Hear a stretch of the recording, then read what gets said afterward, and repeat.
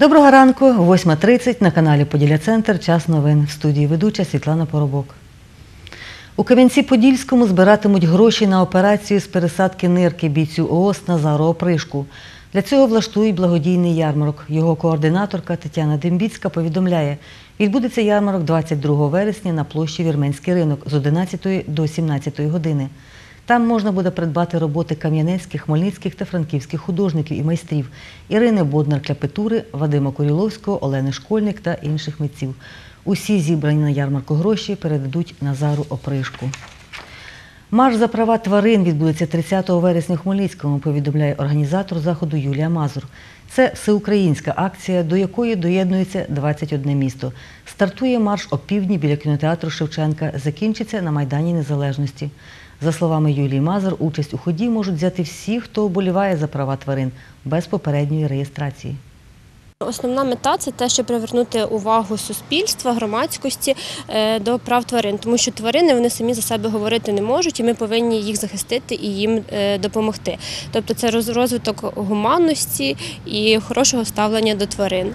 Для того, щоб взяти участь е, в марші за права тварин, не потрібно ніякої попередньої реєстрації. Долучитися може будь-хто. Головне бажання можете брати своїх домашніх улюбленців, тому що минулому році був приклад, всі приходили там із собачками, з кішками, було дуже гарно, тому що ну, вони теж мусять показати, що вони в нас є і їх є багато.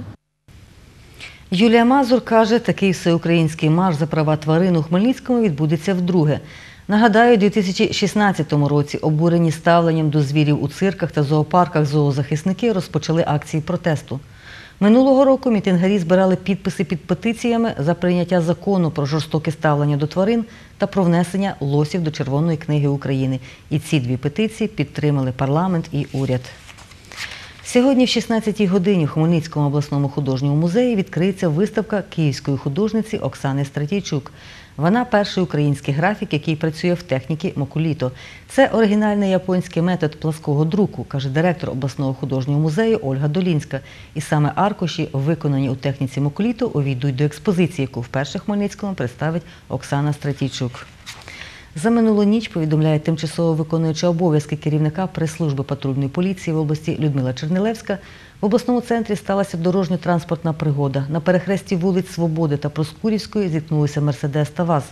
За словами Людмили Чернилевської, правила порушив водій Мерседеса і патрульні склали на нього протокол. Люди в цій пригоді не травмувалися. За ніч на автошляхах Житомир-Чернівці та Стрий-Знам'янка поліцейські виявили двох нетверезих водіїв за кермом. Минулося без дорожньо-транспортних пригод. У Хмельницькому патруль також виявив кермувальника автівки з ознаками алкогольного сп'яніння. За ніч службу 102 викликали 41 раз. Скаржилися містяни на галас вночі, поятики в громадських місцях, були й інші звернення інформаційного характеру.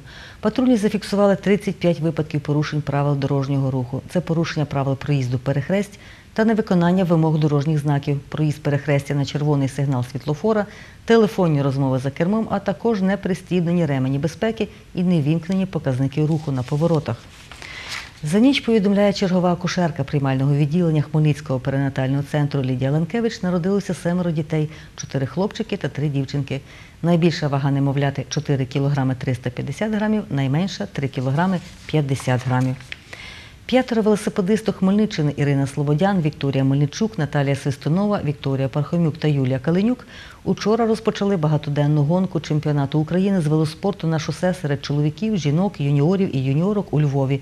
І вже мають бронзові медалі на першому етапі, повідомив віце-президент обласної федерації велоспорту в області Анатолій Білик. Сьогодні на учасниць чемпіонату України чекає групова кільцева гонка, де коло 20 кілометрів. Жінки долатимуть 5 кіл, юніорки 3. Багатоденна гонка триватиме до неділі. Сьогодні в Хмельницькому на стадіоні Поділля продовжується чемпіонат області з легкої атлетики.